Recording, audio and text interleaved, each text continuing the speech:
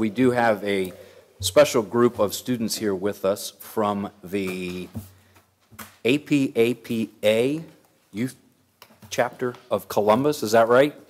Would you uh, kindly do us the favor of coming forward? The whole group, bring everybody up here. Just right up here.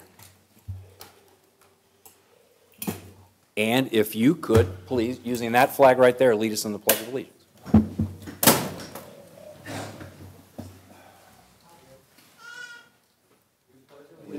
to the flag of the United States of America and to the republic for which it stands, one nation, under God, indivisible, with liberty and justice for all.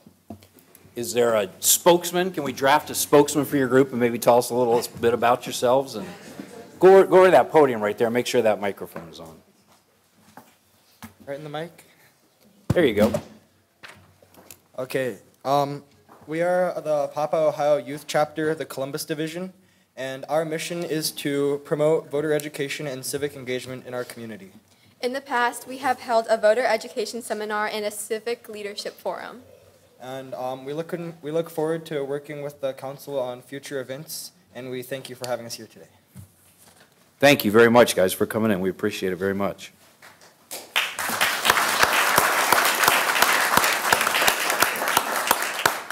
Under our special recognitions portion of the agenda, it's hard to believe, but evidently the Dublin Methodist Hospital is already 10 years old. So um, I believe Steve Bunyard, are you there? Please come on up, Steve. So how have the 10 years worked out for you? You want to just go to the podium right there? Very well, thank you. And how long have you been running the show there? Um, I have been the president there for about three years. I was the chief operating officer for a few years prior to that. So I've been here about six of the 10 years.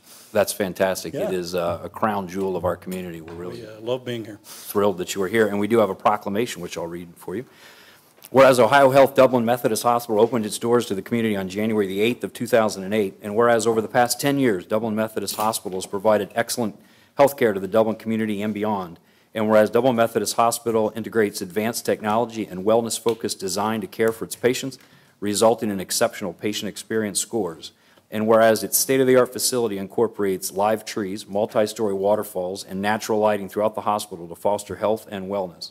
And whereas since its opening, the hospital has expanded its services, including the launch of its robotic surgery program and full-time cardiology unit, where patients can receive cardiac imaging and utilize the diagnostic, diagnostic catheter lab. And whereas Dublin Methodist Hospital has seen an increase in the number of babies born there from 800 in 2008 to more than 2,000 births last year, that's remarkable. And whereas Dublin Methodist Hospital has been honored as one of the hospitals and Health Network's most wired hospitals for meeting rigorous IT criteria every year for the last nine years, in addition to its numerous quality and patient safety awards. Now, therefore, I, Gregory S. Peterson, Mayor of the City of Dublin, on behalf of the entire Dublin City Council, do hereby congratulate Ohio Health and commend Dublin Methodist Hospital for outstanding service and care to our community on this, its 10th anniversary. So congratulations.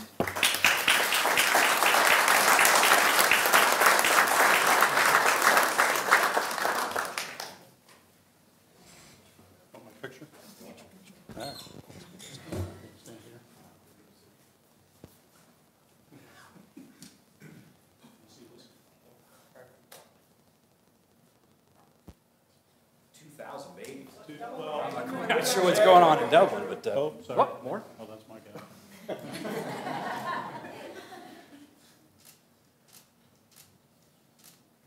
Thank you. Good, Thank you. Actually, it's- actually, we'll do almost 2,500 this year. Wow, Yeah, a lot of babies. good thing you're here. We don't know where we'd be sending them. Thank you very much. I saw you had the, um, I saw you received uh, one of the highest ratings of hospitals in, certainly in central Ohio, if not the state, and you were the top of the heap, along with, uh, I I don't remember which other hospital, but I know that you got one of the highest available. Sure, so we're, we're very proud of our, of our qual, in addition to the two-story waterfalls and all those lovely things, we're very proud, proud of the quality that we do have there, and we have been recognized by a number of different national uh, quality, uh, including Leapfrog and um, some of the STARS ratings with CMS. We're very proud of the staff and the physicians there, so thank you. You know, and I know that Marcus, is where did Marcus go? I know he has uh, been involved with the opioid forums and different things that we go to and Yes. conversational. I know that you guys are really embedded in our community in a very real way, and we greatly appreciate we- that we, uh, support. We are thrilled to be in this community and look forward to another, uh, I don't know how many more decades, but um, I'll be around a while, but As many as you need. we have many as we need. Okay, great. Good. Thank you very much. Appreciate Appreciate it. Chief O'Connell, where are you? It is uh, Washington Township Fire Department, the ISO rating upgrade. Could you tell us about that, Chief? Mr. Mayor, Is Eric with you? Eric, come on. You can't hide in the back row. Come on. Eric's only been there, what, two months, and you're pulling this off already? That's why I'm in the back. This is, this is Chief O'Connell's initiative, so I'm going to stand behind it. Mayor, uh, members of council, I appreciate the opportunity to, to talk with you about the fire department. Can I give you a, a brief update of where we're at and what we've been through in the past year? Uh, in early 2017, we were up for our reaccreditation. Uh, through the Commission on Fire Accreditation, they came out and evaluated the department and uh, looked at every aspect from our equipment to our training levels to our strategic planning to our partnerships. Every avenue, as you know, with the accredited groups you have, agencies, the, the different departments you have. And uh, we're thankful to say that in March, we met with the board and they reaccredited us for the third time. So we're really, really proud of that. Well, we're always continuing, focusing on continual improvement, which is, which is what accreditation is about. So we also reached out to ISO, the Insurance Services Office, and Mr. Keenan knows all about the, the- that group. And basically what they did was they do a little bit different focus group, on focus evaluation of the fire department. They look at how we move water, how we fight structure fires. Do we have the right staffing? Do we have the right equipment? Do we have the right hydrants? Do we have the right training and the ability to do that? So we reached out to them to, to make us better. We wanted to upgrade that. We were a class two. We wanted to upgrade to a class one. So they came in and evaluated us in July, and we were hoping to get a good Christmas present for them and move up to an ISO one. And we did. We found out on December 27th that we did move to an ISO one.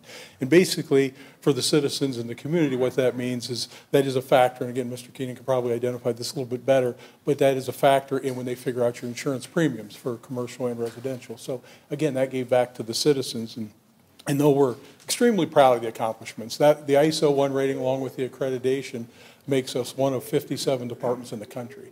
So it- we're really, really proud of that. And, and Wow. with that being said, uh, the credit goes back to the partnerships and, and the, the great staff that we have. We have great staff and, and great people that look for ways to help the community go above and beyond. And, and uh, we're so proud of that group. The trustees, their guidance, they've been great supporters. Eric, the short time he's been a huge impact on the organization already, and we're, we're, we're so happy for that. Um, But also, uh, one of the biggest factors for us is the community. The support we've had from the citizens, the township, and, and the city of Dublin has been incredible. I mean, that is why we're successful, we know that. So though I'm proud of the status and what we've earned, I, I realize that we can't do this alone. And, and probably the, one of the reasons I wanted to come before council tonight was to tell you that it is the partnership with the city that has made us successful. I mean, we, we've got great people, we've got some great infrastructure, but the relationship with the city is why we're successful. And often you, and I said this before in front of council, but you don't realize that until you have a crisis. And the tanker incident we had, within 30 minutes, we had the police chief, we had the city manager offering every resource the city of Dublin has to help keep us safe and help make sure the citizens are safe. And uh, again, you can't, you can't ask for more than that. We've reached out to several of the, the different department heads, if it's, if it's Donna, if it's, if it's Daryl, if it's, uh, again, Dana, again, with the, the city manager, if it's the police chief, always, they've always reached out to us, offered anything that we need to make us successful. So though we're very proud of our accomplishments, we realize that the partnership with the city of Dublin, the infrastructure that council has put in place, even right down to the hydrants and our ability to move water, has made us successful. So I just wanted to give you a brief update on the department. Very proud of the department. But most of all, I really, really appreciate what the city has done for us and what the township trustees have done, their guidance, things like that to make us successful. And I can't forget the citizens because without their support, we wouldn't be here anyway. So I just want to give you an update on it. If you have any questions, I'd be glad to answer any questions you have. That's fantastic. Thanks, Chief. Eric Richter, uh, the Township Administrator, anything you want to add, Eric? I, I, just to piggyback on the chief's comments, um, you know, the, clearly the, t- the Washington Township trustees were thrilled to receive this news over the holidays. Um, but really all I can say is to, I've got to congratulate Chief O'Connell and the entire fire department for their efforts in this. But on top of that, a number of Dublin City staff. Uh, if you have read that rating report, uh, hefty fifty percent of that, um, uh, that rating is attributed to the city of Dublin and, and the services, you- services that you provide through communications, water, water supply, and things like that. So again, to piggyback on the chief's comments, we don't do this alone. Um, The partnership is outstanding, and, and I think we share in this, this recognition. It was really fascinating reading the report. I just thought this was a, hey, we're going to get there real quick and take care of you kind of thing, but it's not. The impact, and like, Mike, you, you would know, I mean, it permeates down into insurance premiums that you never would even think about, but it can have a significant impact, so. You know, it's, it's it's interesting, when I started with the township in 1983, we had seven firefighters.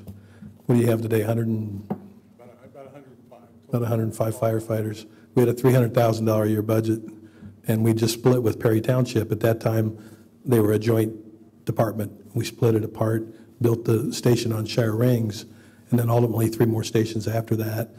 And, um, you know, You've done a fantastic job over the years, and we appreciate what you do for us, and I know your, your response time is inside that golden four minutes or five minutes? Yeah, From an EMS perspective, Absolutely, absolutely. and I, seventy percent, some seventy percent of our runs are EMS, um, and that's a big deal for our citizens, so thank you for that. Yeah, great, fantastic. Thank you for coming in. Congratulations. Appreciate that. Dan Sullivan? Dan is going to give us an update on the 2018 Memorial Tournament preview. Welcome. Good evening, Mayor, Good to see you, council Dan. members. Thanks for letting me take a few minutes just to give you an update. You know, I try to get here at least once a year, maybe twice, and after this year's memorial, uh, for some reason, I didn't make it over. So I wanted to first recap 2017 very quickly. We had a great year, all capsulized in, uh, in one week, and felt really energized about the success that we had coming out of that tournament. Um, in spite of the weather on the last hour or two of the of the uh, of the tournament overall, um, great attendance, um, record commitment to uh, uh, charities in town where we donated 2.4 million dollars, 1.8 to Nationwide Children's Hospital. So felt very good about where we ended 2017, and we're very excited about 2018. Uh, we're focused on really committing to um, continuing this world-class event in every way possible that Jack and Barbara Nicklaus started. Um, and you'll see that through the broadcast and uh, nationally and internationally. And you'll see it locally. You know, we're, we're trying to take a look at every aspect of our tournament and ensuring that we're staying up with the times and ensuring that we're staying up with what we think our attendees want to see on a golf course. It's changed in 43 years. Those that came to the tournament th- 43 years ago had a completely different idea of what golf was than uh, those who go to the golf tournament today. Uh, very much nowadays, it's about creating an experience, uh, creating an opportunity not only to see the greatest play in the game, but to uh, be entertained at all times. And uh, you see that at any sport uh, venue nowadays. And, and we're trying to keep up with the times, meanwhile, holding to uh, the integrity of what Jack and Barbara created in, in 1976. And I think we're doing a pretty good job of that. Um, we will focus on uh, a couple areas this year that will ensure that uh, we're telling the Dublin story. Um, we will uh, partner with the folks at Bridge Park and make sure that we have a connection between the tournament and everything that's going on there. Uh, we're going to do that from a from a local perspective, but also from the way we promote our tournament uh, nationally and internationally. It's an incredible asset that you uh, have partnered with uh, the developers on in, in creating uh, something that is brand new and, and spectacular. And we want to make sure we tell that story at all uh, at all times. Uh, our concert this year will take a elevated status. We'll have some more information here the first part of February. Can't share it right now, but I will the first part of February where it'll give us a chance to just bring more um, interest and focus on that event. Uh, meanwhile, driving more uh, dollars to Nationwide Children's Hospital. Overall, we're trying to improve in every way possible, and I think all of you have heard lately about one decision we made around the golf course with our gate cuts. And uh, that decision comes with um, a lot of thought behind it. Um, the primary thought is that, just to give you a couple quick numbers, uh, last year we had 54 points of entry on our golf course. And if you uh, compare us to the Masters, they have two. If you compare us to the Players' Championship, they have one. Um, and they do that because uh, they do it for security reasons. They do it for control of, of understanding who's on property and, and, um, and uh, ensuring that they have an understanding of who's coming into the, the golf course. With 54, it's simply too hard to control, too hard to understand who's coming in and out and what they're bringing in and out. And we have some data from last year that just made us pause and think, how can we do it better? So we are going to be taking our gate cuts down from 54 to about 15. And those 15 gate cuts will be um, available, will serve the public, as we always have, through the main areas coming through number six and our main gate off the, uh, off the driving range, but also kind of resident cuts that ensure that the residents of Muirfield have a convenient way to get into the golf course. And all those who rent homes throughout the, uh, throughout the week will have that same convenience. We'll make sure that they have a point of entry uh, throughout the golf course. It may not be as convenient as walking right out the back door, but it will be as convenient as walking down the path into one of our controlled cuts that make sure that we understand who's coming in and if they're coming in with a credential and ensuring that they're not bringing anything that, that uh, we would be concerned about. Um, It's become uh, a popular thing to try to get into golf tournaments without having the proper credentials or getting in with things that you're not allowed to bring in. And we're trying to get a, a, a good sense of, um, or better control of that entire environment. And, and frankly, our partners at the PGA Tour um, uh, promote the fact uh, that we're doing a, um, we're making this change and have made recommendations along the way. So what we're doing from a communication standpoint, we did send a letter out to all the residents that have a gate cut and those corporations. We're calling each one of those uh, companies and individuals personally. We're having a conversation with them. Uh, This morning, we sat with Bob Fathman and, and uh, Walter Zier from the Muirfield Association to make sure that the association is up to speed in everything that we're doing. And, and uh, we take it seriously, and we're going to make sure that we're communicating in an effective way and accommodating everyone's interest along the way. So we have a big year this year. We want to say thank you for all the support uh, that you've uh, given us over the years. We look forward to partnering with not only you, council, but management, and making sure that we put on um, the best event we possibly can, which is widely recognized as uh, at the top of the charts in the PGA Tour. And I can answer any questions. Fantastic. If you have any. Any questions? You know, I'd just add that um, Dan's far too humble. He's due in large part uh, the reason for why that tournament runs so smoothly year to year, and it's a huge job. When I represented the Dublin Council in Japan, I visited Kasasega Meika, Kasasega Meca Country Club, which is where the 2020 Olympic Games will be held. And I had some, one of the members came up to me, and I was giving a uh, pin flag signed by Nicklaus and uh, Matsu, uh, Hideki Matsuyama. And they thought that was really, I mean, it was very, very special. But one of the members came up and asked me, do you know Dan Sullivan? And I'm like, how many, you know, 10,000 miles away? And, and uh, they're asking about Dan. So he is uh, world, world known. And we appreciate what you do for us here in I don't know if Dublin. that's good or bad, but I'll take it. It's amazing how many, how many people you bring in during the week? Well, we don't release that number, but it's. It's a lot. It's a lot. It's a lot, and you bring them into this one golf course, you get them in, and you get them back out after a whole day event, and it is really unbelievable what. Well, it takes a lot of people to do that, so thank you. And a lot of people are in this room represented. And, and uh, look, our partnership that we have with Dublin is unique. Uh, We share it all the time when we get together as a tournament with other tournaments around the country, and I say it all the time. If, it- the cooperation that we have um, with you as council and with management and just the city in, in, uh, in total, um, allows us to put on an event that is renowned and, and second to none. And without it, I think that we'd be something much less than that. So we really appreciate all the support. It's fantastic. Looking forward to a successful tournament this year. Thanks, everybody. Thank you. Thank you. Uh, The Comprehensive Annual Fiscal Report, or the CAFR Award 2016, is Robin Howard and Jamie Nicholson. Come on up. Tell us what this is all about. Welcome. Good, welcome. Uh, Good evening. Uh, My name is Jamie Nicholson. I'm the Finance Director for the City of Pataskala. I currently serve on the Executive Board of the Government Finance Officers Association of the United States and Canada. And I'm also President-elect of the Ohio GFOA. I'm honored to be here tonight on behalf of the GFOA to present the Certificate of Achievement for Excellence in Financial Reporting to the City of Dublin. The Certificate of Achievement program has been in existence since 1946. Its purpose is to encourage and assist governments, school districts, and other public entities to prepare financial reports of the highest quality for the benefits of citizens and other parties with a vital interest in a public organization's finances. For more than 70 years that the program has- existed, it has uh, achieved widespread recognition as the premier indicator of excellence in governmental accounting and financial reporting. In order to earn the Certificate of Achievement, The organization had to substantially conform to the program's demanding criteria, which go well beyond the minimum requirements of Generally Accepted Accounting Principles, or GAAP.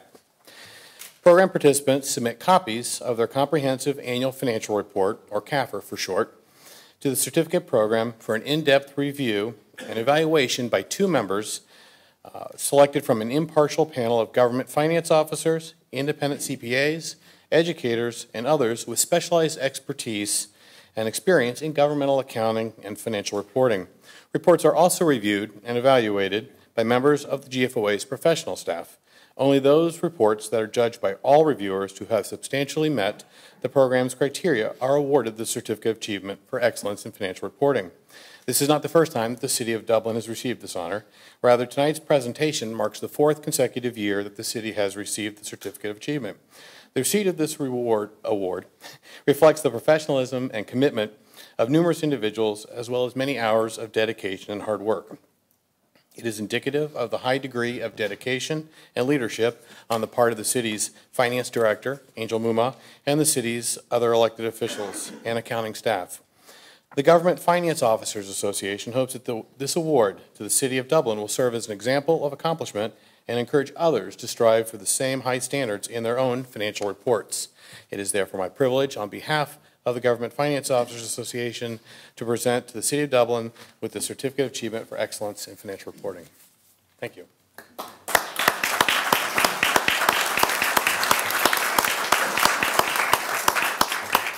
And Robin Howard is accepting this on behalf of the department and Angel and all the people you work with. Yes, my whole department is wonderful, and they all work really hard. This is a team effort of us and the entire city. Fantastic. Really, wh- what's uh, truly remarkable is not just that you got it, but the complexity of the financial operation you got going here, and it was in that environment that you still maintain that kind of standard, which is And it's amazing. not the, uh, this is not just a routine thing that everybody gets. This, uh, it is a much lower percentage of organizations that actually put forth the effort to create this report as well as, yeah, meeting all the requirements. So thank you very much, Mr. Nicholson, for taking the time to come in, and congratulations. And, and Mayor, if I may, Angel uh, could not be here tonight, but she wanted to thank, extend her appreciation. She wanted me to make sure I extend my appreciation to council as well for all your support of our uh, financial team.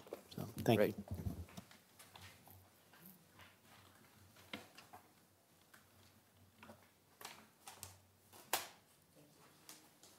Thank you very much for coming in. Mr. Dring, you are up. Scott Dring with the uh, Dublin Convention and Visitors Bureau with an update. Good evening, Mayor, Council. Thank you for the opportunity. Um, If I may, I'd like to also introduce your city council representatives on our board, uh, Phil Smith and Frank Wilson, who are back there as well. Um, It was a record-breaking year in 2017 for not only Dublin Tourism Ministry, but the- the CVB. We had a record of 2.9 million visitors come to the uh, the city of Dublin last year. Um, Our regional campaign um, in in the, in the city of Dublin, that's our effort to raise awareness and market and sell Dublin in Pittsburgh, Detroit, Indianapolis, Lexington. Um, Charleston Huntington had more than 7.4 million impressions, which was a record this year. And of course, the bed tax, which we're always uh, very aware of, that hit record numbers, uh, 3.2 million as a whole, um, for the first time cracking the 3.2 million mark as well. You know, I, I know the bed tax is always something, a metric that we always are interested when, in looking at, but I think it's so much more the impact our visitors have on the community than just the, the bed tax revenue. To give you an example, we have 2,300 rooms here in the city of Dublin. Uh, and we run about 70% occupancy in the city. So about, that's about 1,600 rooms every day is occupied here in the city of Dublin. Um, through our research, we know we have about two and a half people per room, so let's just knock that down to two. That's 3,200 people that are here every single day, every single night, looking for places to eat, looking for places to shop, um, which is economic impact, it's jobs, it's income tax, so it's, it's a crucial component of our econo- economy here in the city of Dublin as well. Um, In addition to that, the, the records that we, we uh, achieved last year, we're also seeing a dramatic increase in hotel development, not only in, in Dublin, but nationwide um, on historical levels. Here in, in Dublin, we've had a 21% increase in our hotel supply the last two years. Uh, the city of Columbus has built 41 new hotels, almost 5,000 rooms in the last two years. Um, and over in Marysville, they have three or four hotels um, on the books as well. So I bring that up for two reasons. One, obviously competition. We're going to have to keep working hard. Um, keep our pedal to the floor to make sure we, we build on that $2.9 million, uh, vi- or 2.9 million visitors and that economic impact. And the other aspect of this is the type of hotels that we're looking to get here in Dublin, in any community.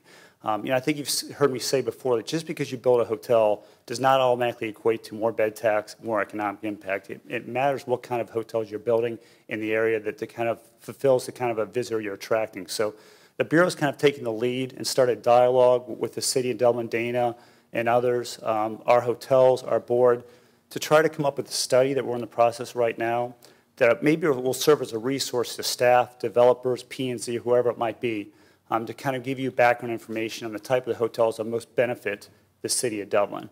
Um, now, we're not advocating hotels to bring in, not, not bring in, that's not our role. We just want to be a resource to all of you and give you the data that you need to, to kind of make those decisions. So um, that'll be done here in the, in the coming months or so. Um, I wanted to update you a little bit on the strategic um, alliance, the Downtown Dublin Strategic Alliance that we started about 18 months ago. Um, if you recall, that was an effort that we started that, you know, we felt when Bridge Park came online, that it was really, instead of Bridge Park and Historic Dublin kind of, kind of competing against each other, we thought it was a, a chance to really create one world-class de- destination, really create a collaboration and a partnership as a whole. So we created this Downtown Dublin Strategic Alliance, which includes us, the CVB, the City of Dublin, uh, Crawford Hoying, the Historical Dublin Business Association, and the Dublin Historical Society.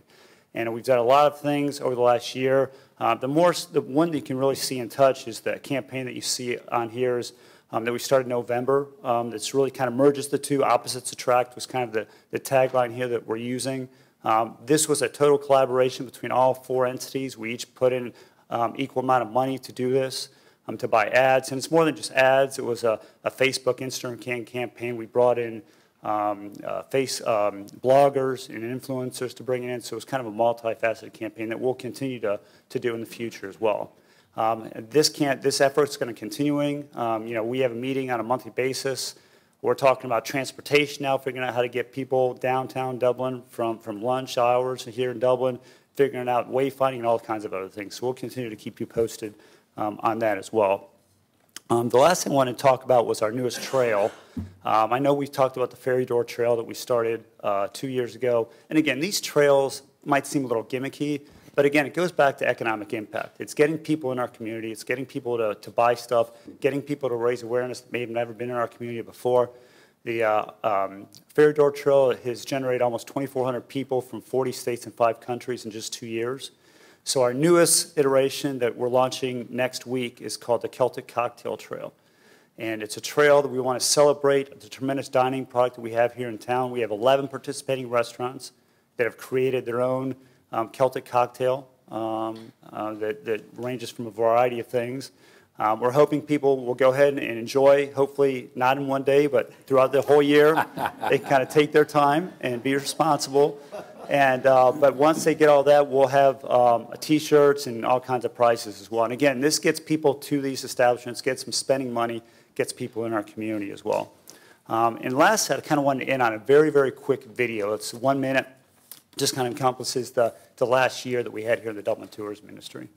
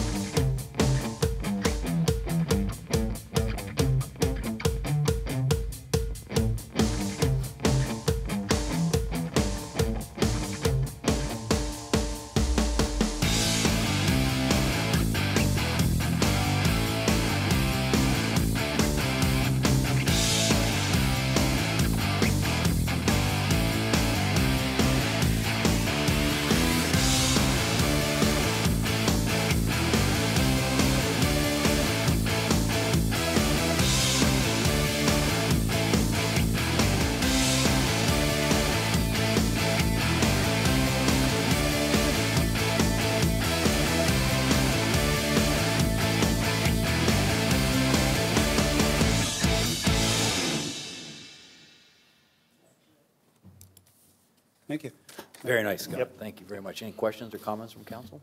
I think Spared on no your, uh, expense in your talent for your video. Exactly, high price talent. Search high and low. Exactly. Thank you. Only attractive people. I think on your Celtic cocktail idea, we're going to have to run our Uber deal and tie that in with it. We do, absolutely. Wait, Not to jump ahead, but we do have, we have talked with Uber and others that uh, we're obviously encouraging that, so. but yeah, Okay. yeah. It's fantastic. Thank you. Good idea. Thank you, guys. Thank you. You do a fantastic job, Scott. Thank you. Absolutely unparalleled. Thank you very much. Uh, Citizen comments. Mike Tibbetts. Mike? Welcome. Thank you very much. Good evening, council. My name is Mike Tibbetts. I live at 116 Longview Drive, and I own and operate Brazen Head and Oscars. Been here for about 22 years. Uh, It's interesting to watch these videos because when we first came here, Historic District had nothing. A couple burned out gas stations, well, not burned, out, closed gas stations, empty carpet store, et cetera. But uh, now it's got a lot of strong independence and a lot more on the way, and that's the kind of stuff that makes it work. But uh, I'm here to make you aware of something that's going on with the parking situation there. About, uh, oh, a little more than a year ago, late 2016, I sat down with uh, Mandy Bishop and uh, some other people from the city and said, "We are going to close the street in front of your restaurant in one direction to accommodate the building of a new place that's coming up just here north. It's going to stay that way for about a year. Not news that any businessman wants to hear. Additionally, all your parking is going to go away that's on the street, parking that for 20 years people have been used to using, probably many of you as well. I apologize, I'm coming over the end of a flu here. So, uh, all right, it's going to happen. You put your head down, you work hard. Uh, you come out the other end, and sure enough, they said that it'll open again in November 17. It did. And uh, December of uh, 17 was a great month, on par with 2016 uh, before all this began. Wonderful. We came out the other end. We're happy to see the development. I've always felt when the water level rises, everybody goes up with it. Well, we had another meeting last month, and apparently we're building a library. And we're going to take all that away again. Uh, Additionally, the parking on the east side of the street, and I'm on North High Street now, well, that's going to stay closed while we finish putting up another building. That's the Z2 building. Now, I've been to New York many times. They put up skyscrapers, and they don't close the sidewalks, and they don't close the streets. So, do I know what can be done? No. I'm sure you guys probably weren't in the planning process of these details, but, you know, this hurts the guys that were there at the beginning of it. And while it's great to see all the new stuff come along, I think that uh, City of Dublin needs to take a little step back and go, oh, what about the guys that got you there? So, uh, any questions on anything? No, thanks, Mike. I appreciate you coming in. Mike had called me, and I went, and we sat down and talked about this, I guess it was last week. Yes, it Um, was. And I walked out and looked at what he was talking about, and the fencing is up where the library is going to be built, and it's now back away from the sidewalk. Mhm. But my understanding is it was explained they're going to bring that out to the street, which makes it really difficult to park a car, and how do you get out that side? Sure. Of the car, your only option is to get out into the street. So I don't know whether there's something that can be done about that. And then on the other side, on the Z2 building, if you look at it, there's just those orange barricades that are still there that take up quite, a quite a distance of parking spots over there. So, and Dana and I talked about it, and I don't know, Dana, if there's anything you want to add. I mean, we're going to, Well, I don't have a lot to report tonight. I apologize for that, but I have asked. That's all right. I have asked the staff to, uh, to take a look at, at what that means and what are some of the ways we can try to mitigate, as we've tried to before. Um, Anytime there's construction around you, it's not always good news. I got that, hear you loud and clear. Uh, The good news is we'll still have the north-south traffic as opposed to just one way. Understand there'll be some impact on those parking spaces there, particularly across the street. Uh, But we are opening up more parking as part of the, um, the Bridge Park West project. Uh, We're happy to and will, and I've asked the staff to take a look at this and also take a look at how we might try to mitigate some of that, even relative to um, uh, valet parking and the like, because we don't want to disrupt that operation either. So I don't have a good answer for you tonight. I appreciate the heads up that we got. And uh, we're working on that, and we'll certainly be out to talk to you again about how do we, how do we try to work with you to mitigate the impact as much as possible. We want you to stay a a viable business in Dublin, love going there, so we want to keep, keep people coming to you, so. Well, thank you very much. I mean, the city's been very helpful. Uh, I just don't know that they had, uh, the people I spoke to had much input on uh, what was going on with it. So we wanted to make people aware, and Dana, the, um, the Bridge Park, West Building has parking in- inside. My recollection when we did that is there would be some dedicated, part of that would be dedicated to public parking? There is some public parking, there, there is a charge, I think it's like, going to be like $2 an hour or something like that. So there's, there's work to do there to educate people that that parking is available or will soon be available, and make sure that patrons coming to that end of town know that. So that's, that's something I didn't know if you were aware of, but we need to make sure that we're promoting that. Um, As part of the whole bid process and getting, now that we have construction sequencing better understood with the library and the parking garage, we've, uh, are putting together, I think we finalized our plan, now that we have the bids put together and know what that's going to look like um, as a result of the, uh, the responses to those bids, so that we can better communicate to the immediate um, neighboring um, property owners uh, exactly what sequencing and construction is, how that's going to impact you, and so forth. So that, that information will be coming out very soon after the bids let, hopefully tonight. I appreciate your time, and I thank you for all your help. Dana, any updates on um, the roadway behind that, those Z buildings um, as the extension of Indian Run wraps around behind the Z buildings? Where, where are we in construction with that roadway? I'll have to refer to Megan or Terry on that one. It's open? Okay. You know, and I'm, I'm wondering if we can't try to divert some of that activity that might want to happen from the front of that building that's requiring some of these parking space occupations or um, closing of them, if we, if we couldn't encourage more, you know, if we had to close that road behind there for a, a piece, uh, probably, you know, maybe we could supply some room back there for material storage and all of those kinds of things that might lessen up what we have to do on the Yeah, High I- Street side. As, as I mentioned, I agree. I think, I think we've got just some educating to do, and we've kind of been in transition as that project wrapped up in what, late November, early December in reality, and transition to the opening of the other building and the roads behind it, and trying to make sure people know that they can access those. I think people are so used to those being closed, they don't even know that they can drive them. So we need to make sure we're promoting that access, so. Well, and you, more than any other pinpoint on the map, took the hit with the road being closed. I mean, as far as a Dublin business, that is ground zero for the place you didn't want to be during that period of time. And you are exactly the kind of restaurant we're trying to encourage through all of this stuff anyway. And so when you say dance with the one that brought you, I get it. I understand what you're saying, and, and we will, um, we'll stay on it. We'll do as best we can to solve that problem.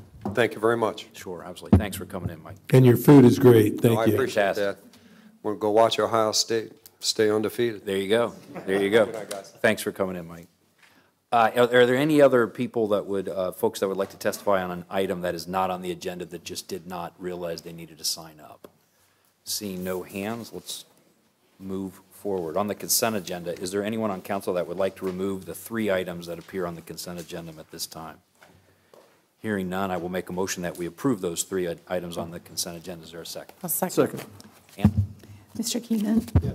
Vice Mayor Amorose Groomes? Yes. Mr. Reiner? Yes. Mr. Rosa? Yes. Ms. Alutto? Yes. Mayor Peterson? Yes. Ms. Fox? Yes. Uh, Second reading, public hearing, ordinance, ordinance da- uh, 01-18. Authorizing the city manager to execute a real estate and transfer property agreement and other necessary documents with Delta Energy Holdings LLC for the purchase of property located at 5555 Perimeter Drive. Donna? Good evening, members of council. Before you this evening is a second reading of an ordinance seeking authorization to proceed with the acquisition of property located at 5555 Perimeter Drive for a purchase price of $4 million. As per the memo in your packet, Finance Director Mumma has provided a summary of prior discussions related to financial considerations for the proposed construction of a new city hall that have transpired over the past 15 years. And while further study is required to fully understand the city's programmatic and future facility needs, acquisition of this property provides a unique opportunity to fulfill the city's community plan objectives of creating a municipal complex that serves as a gateway to Coffman Park as well as a community center for administrative and safety services. With that, I thank you for your consideration of this proposed acquisition and happy to address any questions you may have. Questions of council? I just have uh, one question about the, the second building um, um, that was mentioned on one of the pages. Is that, a when you say a second building, is that one that would be attached to the Justice Center or to this, um, the 555 perimeter? The, the, what you see there in your packet is purely conceptual, so none, n- no site planning has been done. We haven't done any uh, renderings or, or specific plans for construction of those two other buildings. So we're not entirely sure what that second building would look like at this time. Okay, thank you. Have you engaged with any architects or anybody? I know that you don't have site plan drawings and things like that. Have- Have we engaged with anyone on that? No, the only one that we've spoken with, uh, Vince Papsidero, our planning director, and I spoke with m and A Architects, who were the original architects for the building that's currently there. They did come in and share some plans that they had put in place when the property was first built, uh, but we have not engaged any other architects. My understanding is that the facilities team will be putting out an RFP for a master planning uh, exercise that will result in not only the site planning, but then the development of those buildings. I know there's a lot of interest from our local architects that want to have the opportunity to participate in that. So when, when we do, if we can make sure that we look real and hard, real long and hard at who we have available here in town and make sure that they're included on those RFP opportunities, that would be great. Absolutely. Any other questions from council? Ann? Um, Vice Vice Mayor Amorose Groomes? Yes. Mr. Keenan? Yes. Mr. Reiner? Yes. Ms. Fox? Yes. Mr. Rosa?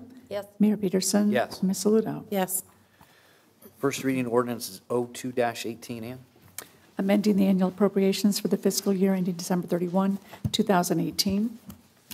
Dana? Good evening. I'll take this for Angel this evening. Uh, This um, ordinance amends the 2018 appropriations. The majority of this appropriation ordinance is to appropriate funds for three major projects. $4 million being appropriated for the purchase of the property of 5555 Perimeter Drive, which you just considered.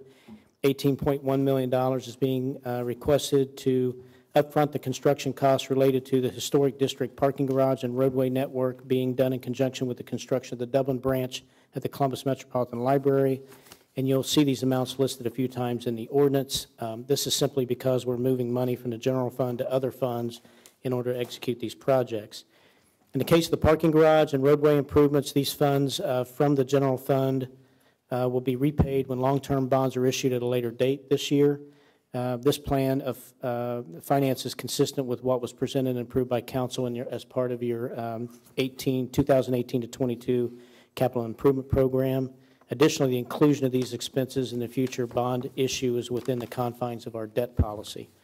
In addition to the expenditures uh, that we just talked about, uh, where we're appropriating funds for reforestation, these funds are received when park and lieu fees uh, are paid and according to code are to be used to plan, plant trees throughout the community, and this amount represents the unspent funds at year-end 2017. Funding in the amount of $605,200 is being requested for change orders related to North High Street widening project. This also includes utility relocations, and $5,000 um, is being requested for the Ohio EPA permitting on the Tuttle Crossing Extension project. Uh, Finally, pursuant to our general fund balance policy adopted by City Council in 2016, we're requesting $1,938,050 be appropriated from the general fund for transfer to the capital improvement tax fund, and this amount represents 25% of the uh, fund balance in excess of the 75% that council designated to set aside.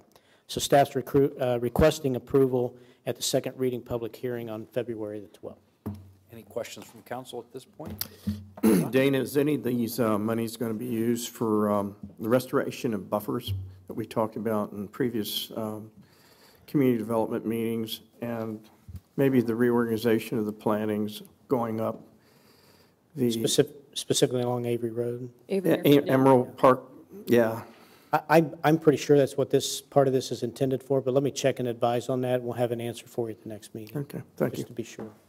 And Just- that next meeting will be. Just housekeeping, we just needed an introduction of that. Oh, I'll introduce that. thank you, thank you, Christine. I have a quick question. Go. In the report, you mentioned uh, the next bond issue, a date to be determined. Could you and/or Angel give me an idea what you're thinking about? Uh, Are we looking at months or years or decades so that we we have a better idea you know, the feds are increasing the rates. We know that uh, financing, bond financing is only getting more expensive. So what are your thoughts? And I don't need an answer now, but you can get back to us. Sure, I'd be happy to do that. I- I have a couple quick questions. Um,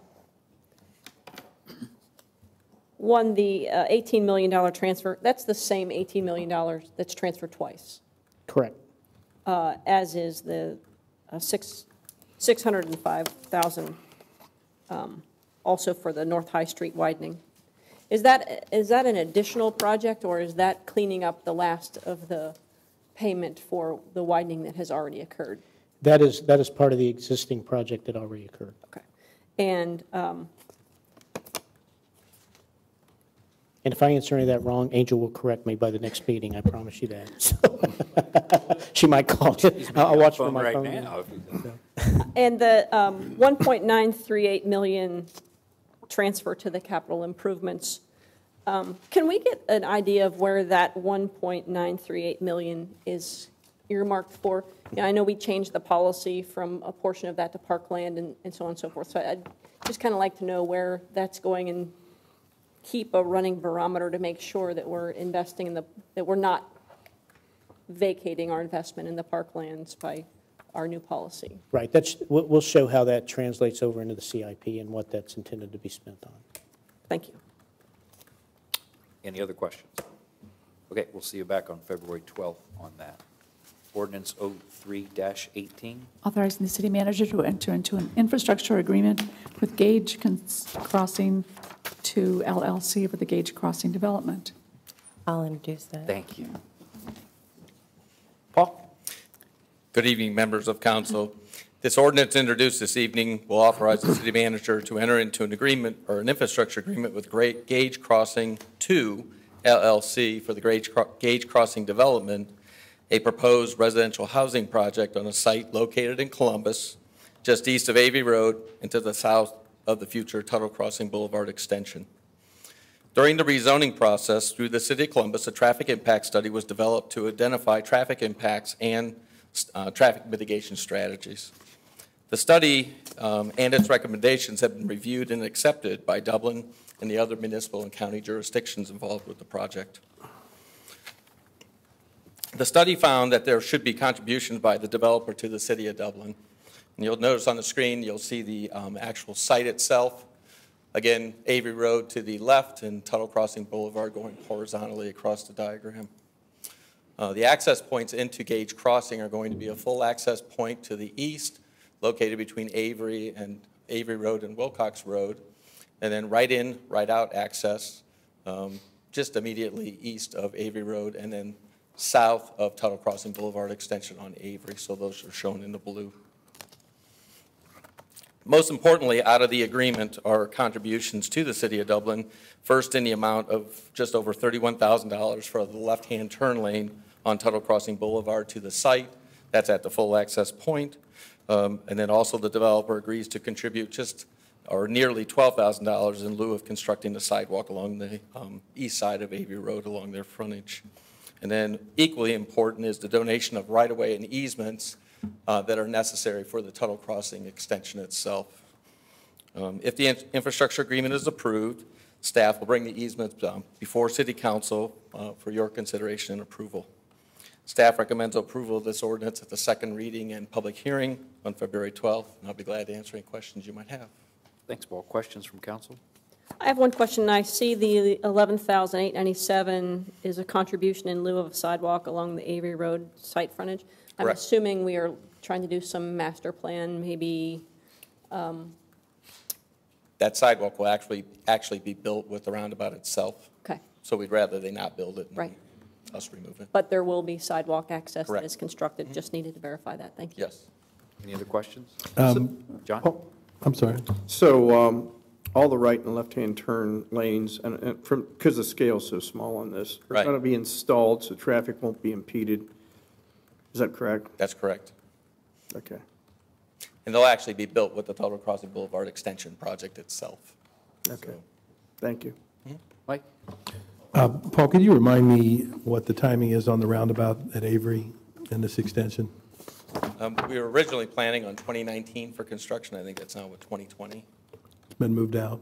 Correct, one year. And on that um, south side of that Tuttle Crossing Boulevard, that adjacent to Gage Crossing, do we know what the set- the setbacks, can you remind me what those are?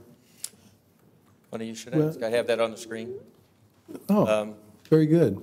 Yeah, so the actual width of the parcel that we own, which was the Bosan property, 150 feet. And then the setback, if you're curious on the, from the path to the property line is 30 feet, and then 45 feet um, is the distance from the curb to the property line. I don't know what the setbacks are for Gage Crossing itself, um, as required by the city of Columbus. That's a good answer. I don't remember seeing that in the packet. Uh, It wasn't. Ah, I thought you might ask. Paul, I have a question. Um, Yes. And it isn't necessarily about this very piece, but it's about the area in general, going south of Tuttle down Avery, Okay. where the National Church residence is, which I don't think is that far away. Yeah, I don't have. I don't know, if- uh, you probably don't have one. But, I can bring it up if you, yeah, if you can, if it's on there, give me one moment. sure.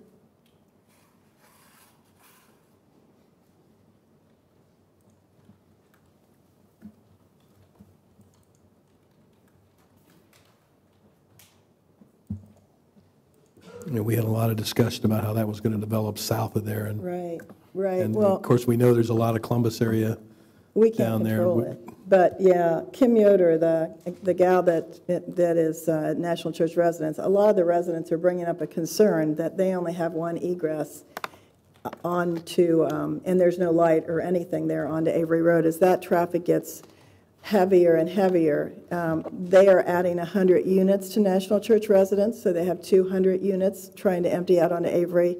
And then to the south of them is a subdivision that's going to be built, so that will add even more. Plus, across the street from them to the east, there's going to be multifamily. So Avery Road, and I'm not real familiar with what's happening, maybe you can clue me in, but there's a lot of concern and, and worry about how they're, how those seniors will be able to, they say now it takes 15 minutes just to get out of their entrance onto Avery Road.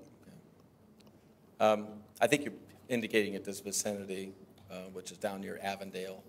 Um, Right, I don't have, this is really the best exhibit I've had, but the southern portion of Avery Road. Okay? Right, so just to keep this on our radar as we go forward, because they're, they're struggling now, and there's Okay. no doubt they'll be struggling in the future. All right. All right. Good to know. Thank Thank you. you. What's the road from Wilcox that goes all the way through there that Hilliard, I think, just put in, or Hilliard and Columbus? Um, That would be Riggins. Riggins, have you been down that? I mean, it is a massive, long road with a lot of land and a lot of multifamily already built. Looks like there's more going up. Does Riggins go beside National Church residence on through? Uh, It'll actually be the um, Hayden uh, Run Boulevard as it extends. As it west of extends? Up over the river. Is there ingress egress capable there maybe later? Uh, No, there isn't because of the embankment. Uh-huh. Okay, any other questions? Thank you, Paul. See you back on February 12th. See you February 12th. Resolution 04-18, Ann? Authorizing the city manager to enter into a guaranteed maximum price contract with Turner Construction Company, Inc. for construction of the downtown Dublin parking garage, roadway improvements, and landscaping enhancements. I'll introduce it. Thank you, Christine. I may. Terry? Good evening. Hi. Uh, As council's aware, uh, in um, May of 2017, the city and Columbus Metropolitan Library System uh, entered into a development agreement uh, for the joint development of the current property, which would include contributions from the city of a parking structure and a street system. Uh, We have gone through lots of steps uh, to get to the point we are today, where the designs are completed. Basically, the projects have been bid. And if you recall, one of the terms of the development agreement was that we would agree to use a single uh, construction manager on this project, largely in part because the compactness of the site, the desire to have um, as much coordination and construction as we can possibly get, and to save money by having a single kind of project management team on site coordinating and being responsible for all the implementation. The uh, library system had gone through a competitive process several years back uh, among co- uh, construction managers and selected Turner. And we uh, advanced our discussions with Turner. We're very satisfied with the construction management arrangement under terms uh, same as the library had negotiated for their role as construction manager for the city. What's before you this evening in um, Resolution 0418 is the actual resolution that would authorize the city manager to enter into a guaranteed maximum price contract with Turner Construction uh, for the construction of all those facilities. Those include the library structure, uh, the construction of the street system around, I'm sorry, the parking structure, the street system around the parking structure and library, as well as the grounds of remembrance enhancement just south of the grounds of remembrance that council approved as well.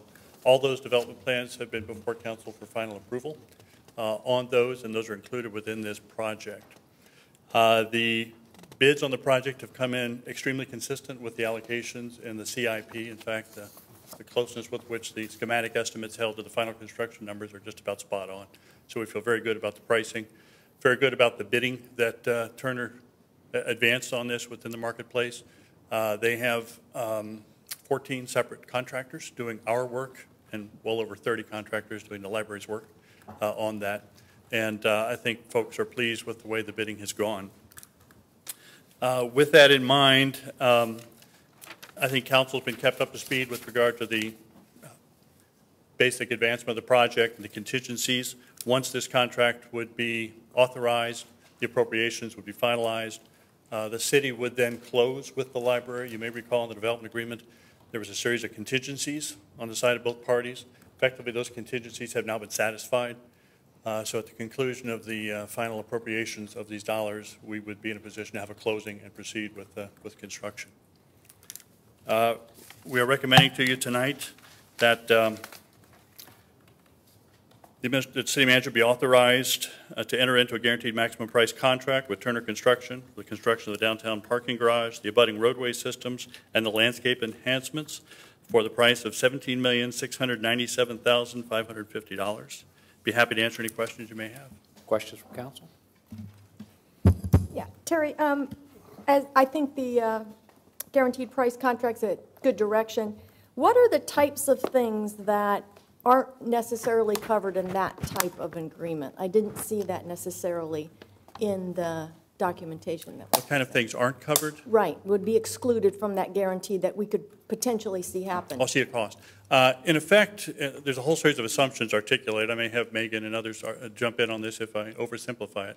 But in effect, based on everything we know about the project, all the plans as they've been drawn, all the note con- uh, conditions, we have structured it so that the subcontractors, for example, take on the risk associated with rock. If they hit more rock, that's on them. But if, as when we did the High Street project, you dig in the ground and you find utilities that nobody knew were there, or, or conditions of, I'm picturing uh, buried uh, uh, septic tanks on the old library site, or stuff that no one knew about, couldn't find anything else about, that are unknown conditions that aren't covered, those are the kind of things that could be impacted by this. But there's been a tremendous amount of design and due diligence and testing on this project, so we, and our building, luckily, it's a fairly straightforward building. The biggest area of volatility on these sometimes ends up being the private utilities and uh, getting them to do what they need to do and keeping their pricing firm on those elements. But based on everything that's been quoted today, the design, all the fees we understand, uh, we think this, this contract amount is good, and we think the contingencies are appropriate for the project today. Yeah, any owner-directed changes that might come along along the way also would be elements of that also. What about weather? I'm sorry? Weather? Uh, How weather specifically dealt with? Non-compensable, yeah, So they're taking the risk for weather? yes. Yeah, and in fact, our job will be done quite likely before the library job is done. We have the simpler building Mhm. uh, on this with the road system, so I think in terms of just critical path items, uh, that's going to be driven by the library completing its work. So who, uh, we get a bond from, we, this job would be bonded in as much as it's a city job. That correct, even in spite of the fact that it's a uh, GMP, correct? I wonder if they get bonds from their subs. They- Yeah. They All would get bonds from all, fact, all the of the subs as well. subs- Right. We're on, we're on the hook for the construction, uh, for the builder's risk portion. In other words, for any uh, property casualty loss is ours, property loss would be ours. Um, Is it a wrap, do you know, for, the- in terms of the liability and the workers' comp and? No. It's not a wrap, so everybody's on their own. And then one other question, and I'm not that familiar, we're relatively new on these, on these guaranteed maximum price contracts. Um, It would, probably begs the question that there's not a contingency built in because it's guaranteed. There's no in a normal contract, we would have a a 10 or 15% contingency number built into the deal. We do not have, probably do not have that in this scenario, or do we? Yeah, there are a series of contingencies baked into these. In most cases, the owner has control over those in terms of approving aspects of that uh, with regard to it. I Is it our money or their money? Ours. It's our money that they can use in the event that we hit that uh, underground uh, storage tank or, okay. We know, we're, we're so new at this. I think what, we the did one other one. Yeah, there's some contingency in the contract that is designated as the contractor's contingency, and then there's some that's designated as the owner's contingency to be used as deemed necessary by the owner. Could we see those, if, uh, bring them up in our next packet? I'd like to, I'd like to take a look at that. Yes. Wasn't that That'd the 300,000? Terry actually has a slide that I think he's going to pull up that shows the breakdown. Well, he's pulling up that, that up, Megan. This is our, would this be our fourth GMP type project? Third. Third, yeah, so we had Justice Center, pedestrian bridge, and then this project. The other one was the Justice Center? That was the very first one that the city did. Mhm. And that, that was about a $11 million project, Justice Center? Yeah. So to be clear, the $300,000 contingency is on top of other Well, contingencies Terry- that would be built in? The slide that Terry's going to bring up will show the breakdown within the contract, so I think it'll become more apparent once you see that. Wonder, it'd be interesting if you could figure it out, but there's probably a little bit of risk built in where we might pay a little extra pop on a, on a guaranteed, uh, bec- because of the risk back and forth, but any, any idea what that might be? Would it be a, That premium is? is a premium 5% or 10% or some number? I'm just curious, I mean, I, I'm a believer in this. Um, Obviously, yeah, it's a big project, there's a lot of money, and uh, certainly the pedestrian bridge would be a really good example of, of some things you could get into some hot potatoes on. Hi, I'm, I'm Don McCarthy. I'm the owner's rep for your project. Um, If I could understand your question again, I might be able to answer it. What's the premium that you're paying for a GMP? Well, it would seem to me that if, if, if we were, be, if we had a typical contract, that they would go out, they'd go to bid, uh, that it might be one number, and given the fact that we're passing risk on by way of a uh, GMP, it would seem that they're, they've got to be, built some kind of premium into that to go at risk for what might happen. So there is, um, in the form of, in the, in the contract format, there's a, um, um, a construction contingency that Turner is, or the CM is allowed Right. to have. Uh, We competitively bid that. In this instance, we negotiated the same deal that the library had negotiated several years ago. I believe it's two and a half percent is the um, construction contingency that is in the um, uh, GMP for Turner's risk. So the premium, if you were to go lump sum bid, you know, if you were to design the plans 100% and lump sum bid it, in theory, that wouldn't be put in the lump sum number that the general contractor would submit. But then again, um, anything that's gray in the plans becomes an argument point. In this instance, they're, have a 2.5% contingency in there, and, and our position would be, that's your risk. Yeah, and that, I, I like the, I like the concept, and I think it works really well, and I know we were talking earlier, Ohio State has used it uh, quite a lot as well, so, It's, um, it's more of a collaborative environment. Right. As opposed to an adversarial thing. Both delivery methods work, but this is far more collaborative. Um, One of the things that Terry mentioned, as we were talking about getting to our final scope, there was a a tremendous amount of uh, um, um, insight that we were all getting, giving and taking with respect to finalizing the final scope and the budget. The, the GMP ended up being pretty anticlimactic in terms of where we were trying to get to. So it was, it was very collaborative. I would think the rock risk is a big deal. We- To the It extent was. we've mitigated that, that's, if you watched them build that building at the corner of Bridge and High, I think they were out there for months and months pounding, pounding rock to get that lower level done, so. So initially, when the bids came in, uh, everybody took, took a big shot at the rock because our soils investigations, you know, showed everybody the rock. Everybody came in with, with some pretty high numbers. During the scope review process of each of the subs that were affected by the rock, we narrowed that risk for them. They took, they ended up taking on the risk. The savings in that process came back to us. When it was all said and done, I think we probably picked up about four hundred thousand dollars that fell to our side of the equation when we finally worked through the process with everybody. So again, very collaborative. Yep. Yeah, I have a couple questions. Um, Did you do, do they do drillings, borings to, to determine rock? You- You've done all that? Yep. And I'm just curious, where is bedrock there? Uh, it depends on, on where you are, you know, the Mhm. closer to the, uh, to the river, it's more shallow. Um, we think that there's about, depending upon, uh, which trade we're talking about, there's probably about fifteen hundred cubic yards of rock that have to come out. Um, and it's, it's rippable rock, we call it rippable, you can just kind of get a big backhoe and just rip it out as opposed to, you know, some of the other Peel ways of versus getting rock. blast? Is it more of a peel versus a blast? Exactly. Yeah, it doesn't come out in a straight line, you know, and that's some of the risk that we had to deal with. You know, you, in our business, we tend to draw things in straight lines, and rock doesn't come out in a straight line.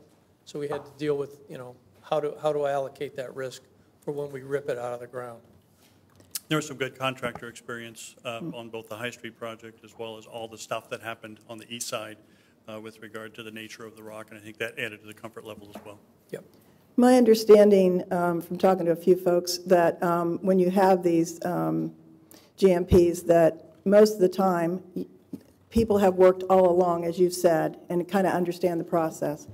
And that you get to a point in your construction documents that you're pretty far along the road. So you must be over 50% finished on your construction documents, or, Uh, we're, we're almost, well, we're in for permits, so we're. You're in for permits. You're essentially really far along. 100%. oh, And this wasn't design build. This is stuff that uh, Turner, as the CM advisor, worked with us through those phases to help us Right. understand costs. They would bounce it off different kinds of subs to understand impacts.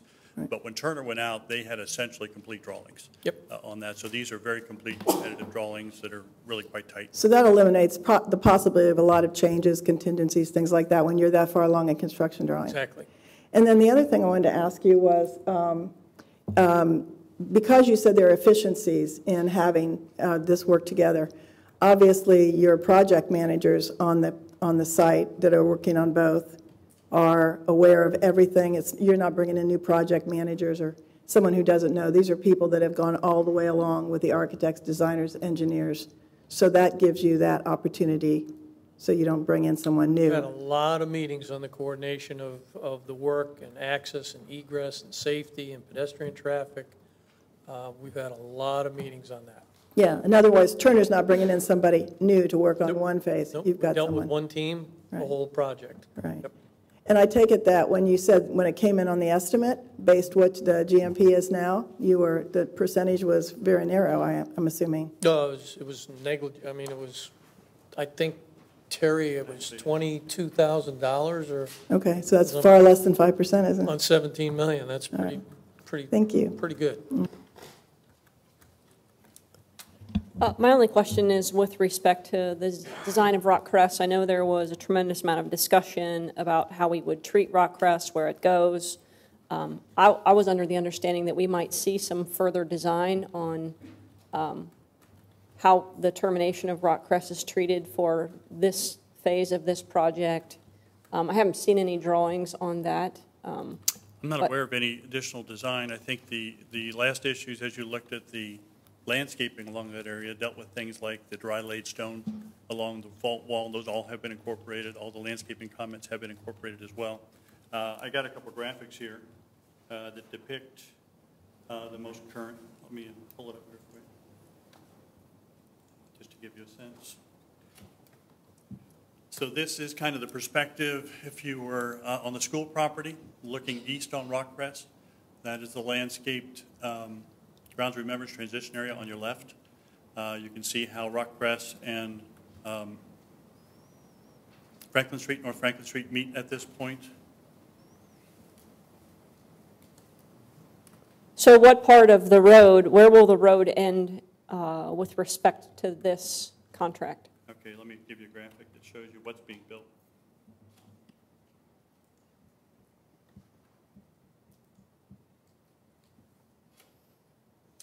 So this shows you what gets built as part of this contract in the way of roadways and the parking garage and the other facilities. You can see uh, where the uh, Franklin Street and Rockcrest, you can see kind of the new pedestrian connections that get folks uh, to the park. and into the grounds of remembrance and the cemetery. Uh, All those now are fully accessible ADA. You'll have uh, elevators in that corner of the garage. Both parking lots will have handicap accessibility to it uh, with regard to that. And uh, this actually shows you the, uh, uh, the after condition for the roadways, the buildings and the improvements superimposed over what's there today. When we had talked about this previously, I can see here at the end of Rock Cress, or on the western edge of Rock Cress, it kind of is veering to the right, although the parking garage is straight. Oh, goodness, you're going to make Actually, me the use parking garage does have a little curve to it there. So uh, what, what I'm referring to is this area here, how we, um, is there something you need to hit so I can work on? I don't know. No, that isn't operational yet, I don't believe. That is. The annotation. Well, that would. Uh, Could could I have the laser, please? So, so um, you're, you're wanting to know what that stub street looks like there? Is that stubbed off, or is it, um, Right, how- so. how is it terminated? According to this, you know, it kind of comes up to this area, and then you kind of see it go off to the right at this point in time. And there was a lot of concern among our residents, and I, I thought among council too, that we didn't, that we were of the opinion to keep Rock Cress away from um, the park and the Indian Run, North Fork, um, or South, South Fork. No, that's north. Uh, That we were trying to keep this rock crest away from there, and I see a bend on the end of this roadway that's leaning us that direction. And it- This is the same alignment as went through all the plating, preliminary, final plating, final design. I think the discussion that got into those issues at that point was triggered in part by as it moved forward and might cross Shawan Falls, what's the impact? Our strong recommendation from the staff was that this green that we are creating be a continuous green between the roadway and Indian Run uh, as it continue uh, on there, that there not be any development between this roadway and the Indian Run, that all be public park and green, generally reflective of the scenic easement that we've secured from the, and that's really the area we're trying to protect, that and as much else as we possibly can. This just terminates the road at that location, but continues along that alignment that I think has been a part of all the, the plats, everything else we brought forward. The garage, as you can see, does get very close in those areas. That's actually where the bike entrance and a whole series. I'm talking about past the garage. The garage ends right here, and I'm, I'm talking about this section that starts to Now, there's nothing. head to with- the north. I think with regard to that, that precludes you looking at different ways for that to go forward in the future. But I think this is fully consistent with everything that's been shared with council thus far. But it's not designed to have a road go through there uh, in a year, or five years, or even 10 years. I don't think the school's got anything imminent, and we certainly don't as well. But uh, the good news is with that roadway, uh, that piece of rock crest is among the first things that gets built. And our hope is that by June of this year, it's open. And that'll actually provide access to the parking lot of Indian Run uh, on that, while North Street gets built over the summer uh, with regard to it. Plus, it'll be a signalized access point starting next spring, early summer, which will allow cars to come in and get out in a much safer way than they can today. You know, I think you guys have presented a whole series of uh, drawings on this that we've all reviewed over and over, and I also think the, um, the area that we were just discussing, I think the connectors are really well done that get us into the grounds of remembrance and over into uh, the Shawan Falls hiking area. So I think it was- that was all worked out very well by the landscape architecture team. So I don't see any real problem I do think that. this image is misleading. Uh, This one shows pavement continuing beyond the walkway, and I don't think it does. I think that walkway is the terminus. So the Mhm. walkway that you see on the west side of um, Franklin Street, going across to the grounds of remembrance, is where the project ends. That pavement doesn't continue as it shows on there. My question was primarily around the treatment of the terminus of that roadway. Of, I- I want to make sure that we treat that appropriately, and it doesn't look like it's a road to nowhere, or it's a road that's supposed to go somewhere that, that doesn't at present. That it actually looks like it's terminating. In other words, don't put a stub out on Mhm, Right. Yeah. Right, that's where I was headed earlier. I, I, I want to make, let us come back to you on that, because I, you know, whether it's a, I don't think we've If seen there's- anything on that piece. yeah, I I mean, if you want a piece of curb slipped on the end of that, or you want a bunch of planters, or you want signage, or, you know, we can do all that. I, I want to be careful, though, to make sure that we're not implying that because that road terminates there, at that crosswalk, which was something that your Veterans Committee wanted to have, it's not implying that that road's going to go on. Because we've had that West Bridge Street discussion, and we've said, not doing that, unless, you know, down, no pun intended, down the road, there's a revisit to that, and, and someone wants to redevelop that site, which is the school site, which I am not saying will ever happen. Um, That's probably a discussion for another day, but what we have said is we're, we're stopping our planning on that right now. We are not looking at extending that road, although there have been discussions about potential alignments of that road going further west. We just kind of said, look, until such a time that opportunity presents itself, that should be a dialogue for another day and, and, and will be. And I, I just want to make sure we're not, everyone understands, we're not implying a continuation of that road, but that road's got to end somewhere.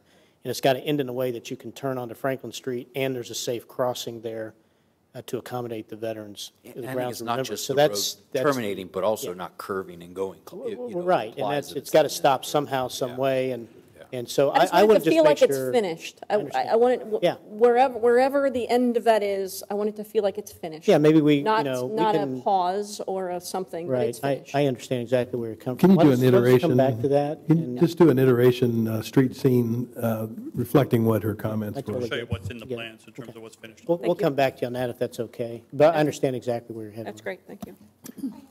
Sure. A couple more questions on the financing part of this. Yes. Um, So on the, the way I read the um, amount of money that dedicated to the parking garage, this is net of the contribution of the library. Correct.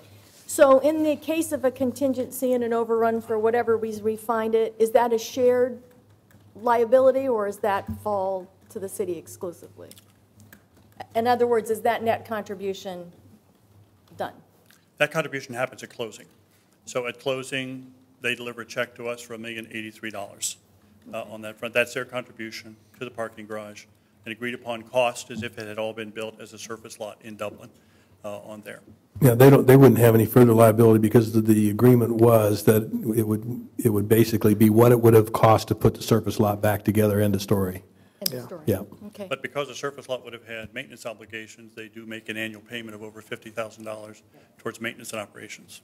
Great. And then finally, we heard earlier about the importance to the businesses in this area um, and the timing. So I know inherent in this is timing and scheduling, et cetera, so forth. So as this gets finalized, we- think about that. I don't know what- what, if there is indeed an economic consideration here, but figuring out how to do that. um, We're happy to how share with you, that if is. you have an interest, some of the current thinking with regard to key phasing elements that gets into some of these issues of uh, how the area is impacted. If you'd want to spend a couple minutes on that, we could share that. I think that'd be very helpful because we get a lot of questions out and about of how, how this is all going to happen. And if we could articulate an answer, that would Sure. be helpful. It's important to note that Don's still having discussions with contractors and twisting arms and convincing. So what these reflect is a combination of what we believe is feasible, uh, things we are aspiring to do, and some of these we're still working on. So what you're seeing before you now is the condition that would exist from roughly February through early June. Uh, And during this scenario, folks are working as hard as they can to get Rock Cress built. Uh, On that, you'll see a piece of North Street. The lanes actually shift to the south on North Street. If you look closely, there's two lanes in each direction. That a lot of work is focused on primarily Rock Cress, secondarily uh, Franklin Street. Uh, During this period of time, there's a construction entrance coming in at uh, where Rock Cress hits um, High Street. Some of these uh, depict the uh, pedestrian walkways that we are trying to achieve, what gets maintained, what doesn't, what can't. These are what we're having discussions about. None of this is final yet. These are the, the kinds of ideas that the, as the engineers and the traffic maintenance people look at this information, we push back with contractors. That's the stuff in the remaining negotiations that we're still working on. The, the goal has always been to keep parking on the west side as long as we can. We just need to know that there's safe conditions when that, when that can occur. Uh, On there, we need to understand with the amount of construction happening to build the library, all the new back, back of curb improvements, uh, the construction traffic coming and going from that site creates a safe condition for folks to do that. So we're working on that. But this is a condition that exists for about five months in the project. Very heavy emphasis. You can see Darby lot is still open, but you get into it from Darby Street at this point, which really will be the permanent condition with the Darby lot. And uh, there's still access to the Indian Run lot. And then you can see up at the northern end of the Indian Run lot, that's the construction offices of of Turner uh, on the project here. So this is being looked at uh, as as a first idea. There's also discussion that for the crossing, and Megan, you may have to chime in if- on this one, at the crossing of um, High Street, just north of Rock Cress, that we have a pedestrian-activated crossing at that point uh, to make for a safer situation there, and I think that's being contemplated as well. But these are the kind of things that are framing the discussions that are still ongoing uh, with regard to the project. On the next phase,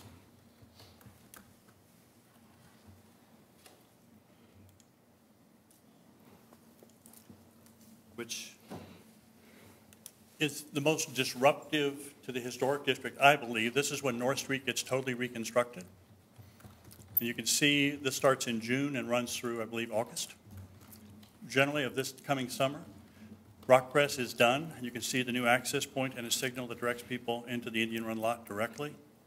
We are trying to make it function like it functions now so that folks from the Indian Run lot and the Darby lot can go back and forth. You'll see that little road, temporary road connection that we're going to try to negotiate with the school district uh, on that to see if we can't make that happen. Because if people enter the Darby lot and it's full, want them to be able to go to the Indian Run lot, and obviously want people to be able to leave through Rock Cress. This is probably that most disruptive period uh, during that construction and happens, I think, of about three months currently, Don, is what's contemplated. Correct. And Terry, that's really been designed to create as little impact as possible on the school site, right? Yes. Try to squeeze in With the schools being out of session during that three-month period, by taking away North Street effectively during that period of time, we minimize that impact. And then finally, for the remainder of the construction, Rockcrest is open, North Street is open. Uh, We have good access to the, to the parking along those situations there. And uh, most of the construction activity in terms of the streets is happening to finish up Franklin, and the on-site improvements as happening through the remainder of the construction, which is probably through spring of 19. Correct. If I've lied, misconstrued, Oh, nailed in it. the wrong direction. You've got it committed to memory. That's kind of the current thinking right now as these exist. They will continue to get refined. We'll keep you up to speed on major things that kind of impact this as we're going forward. And the contractor has agreed to this approach. Terry, it seems as if, um, in looking at this, it- it's amazing how you can get the traffic around here, but, but I think there is a big concern. I'm seeing that uh, closed ped- pedestrian route on the uh, west side of North High Street for the entire project. That's what this showed from the engineer. We're- Right. We're evaluating those. Yeah, I think when you, when we think about it, if there's any way, because I, I think that we have asked more than we need to ask of these businesses on High Street to sacrifice for the good of others, that if we can't get, if we can somehow get that open, I could understand three months, but the entire length of the project, I would Part really of- need to open it up. Part of the west side, keep in mind, is on the High Street project, we did nothing behind curb. So everything we knew would just get torn up and be messed up until the library project was done. So everything up to the curb, all the sidewalk. What's on there now is a temporary sidewalk that we want to keep intact as long as we can. But we also know the library building is the long lead item building on there. And you can see a lot of their stuff and their entrances and their roadways and their construction is going to come right up to that. So our goal is to try to make it as accessible as much of the time as we can. Don said it's the kind of fence that can be moved, and we'll have our people kind of work with the contractors to schedule as much as possible. We just can't commit yet as to how much of the time. I think the other good news that Dana mentioned, the Z1 parking garage, uh, when I talked to Crawford Hoying last week, they were trying to finalize the gates and the equipment and kind of the payment mechanisms to get those work. They thought they were within a week or two of those functioning, and there will be a new supply of over 200 parking spaces there since obviously the number of the commercial spaces, one, even the first major commercial tenant slated to move in there this April, but there'll still be a lot of vacancy in there, so there should be an abundance of parking available in that facility, albeit cost for cost, uh, during this timeframe. There'll be signage that shows that that's parking uh, for the public, because now it seems as if it's private and you would not even attempt to go in. I in. think the, um, the signage with regard to the standard public signage, consistent with our kind of wayfinding and signage plans, I think is due to go up. And, and I think as the parking, the different lots come open and closed, I think thinking through some ways to let the public know what's going to be open when, closing next month, opening next month, or something will keep down the frustration points because we'll get used to A and then B is going to, Our, our, We'll goal- our have goal is that both of those public lots stay open through the duration. oh, That's our goal. What, I've noticed a lot of construction traffic, and I think, not to pick on the electricians, but there are several electric, they're the same, there's about seven of them that line the street. Is there a place for them to park other than on the street? Do you know which project? Right along, associated with? right along the, the- right along, I don't know what they're working on, but they park in the spots right Yeah, along I, the I- I library. think we're, I think we're getting some contractors parking on North High Street related to the Crawford Hoying Crawford one, Hoying. and and so they're finishing up, you know, some of that along North High Street, That so. could be, and that's something we'll have to police with, with our- our neighbors across the street. Um, We're parking, for, you know, for the library work right now, we're parking inside the fence. So there shouldn't be anybody from, I'll call it our project, that's parking outside that. Great, thank you. It's gonna, it, we'll, we'll just have to be very diligent in policing all that. All you can do is the best you can do, right? Yeah, yep. Any other questions from council? No, you know, as a three-part plan, I, I, I got to compliment you because I think this is about all you can really do. And I think you've done a good job trying to keep the public parking open during the different phases. So I think you put a lot of effort into this. And the pedestrian traffic, too. Yep. See where you've rerouted it during every phase and done a really good job, so Yeah, one thank thing you. that's missing on here is we don't think there's good pedestrian access from the Indian, or from the Indian Run lot to the south. Yeah. Uh, We need to create a pathway uh, to- so that people can get to the Darby lot and the other restaurants in that area as well. So those are the kind of things we're we're exploring. We still have to have some discussions with the school to kind of finalize these arrangements, but want to make you aware of the general thinking. Okay, thank you. I, I want to take the opportunity too, if I may, just to, to um, thank, well, I want to thank Don his, his work on this, and, and Terry and Megan and, and all the team, but I, I want to thank our schools. They have been terrific and patient partners in this, as we have gone back to them and said, hey, can we work with you on a temporary lot for some construction trailers, and the fence is going to go this way, and then we're going to, and that's going to continue, and, and we're keeping constant dialogue with uh, Superintendent Hoadley and, and, and the staff there to make sure that we're coordinating. But I, I can't thank them enough for their cooperation, the spirit of cooperation, as you all know, has been terrific. But when it gets into the eaches here on this stuff, it even gets more complicated, and, and I just want to make sure to publicly thank them for all their help. This couldn't happen without, without their help. Absolutely. Great, thank you, Tom, for coming. in. Any other questions from council? Okay, Ann? Uh, Mr. Rosa? Yes. Ms. Fox? Yes. Mr. Reiner? Yes. Mr. Keenan? Yes. Ms. Alutto? Yes. Vice Mayor Amorose Groomes? Yes. Mayor Peterson? Yes. Okay, under the other portion of our agenda, preliminary and final plat Building Z2 and the Dublin West Plaza. Logan, it's all yours. Yes, good evening, Mayor and uh, members of City Council. This is a preliminary and final plat for the Dublin West Plaza and Z2 building as part of the Bridge Park development. The site is located on the east side of North High Street, just north of the intersection with North Street. The plat includes the subdivision of land into two lots for public and private development. Uh, All of the projects that are located within this boundary have received approvals through the public review process and are currently under construction. Uh, Shown on the screen is the preliminary plat with the specific portion outlined in the uh, dark, thick black line. The second portion is for the final plat, uh, which also includes all existing and proposed easements for access, maintenance, and utilities. Lot one that is shown on the screen is for the Dublin West Plaza, and Lot two is the Z2 building. The Planning and Zoning Commission recommended approval of this to City Council uh, with the one condition that's shown on the screen, and staff is also recommending approval of the preliminary and final plats this evening. And I'd be happy to answer any questions you may have at this time. Questions from council? I have a couple questions. Um, One, I just wanted to verify, there was no discussion about this at the Planning and Zoning. We have their meeting minutes dated December the 7th. Um, It does not indicate that there was any discussion. Was there no discussion about this? Correct, there was no discussion. It was placed on the consent agenda and approved at the beginning of the meeting. Okay, uh, there was a lot of discussion from the ARB folks in, in previous meetings. Um, So my, my plat-related question is about sort of the, um, the, jettison part of the plat that comes down to, uh, to the south, I think, if, yeah, this. If you could put that.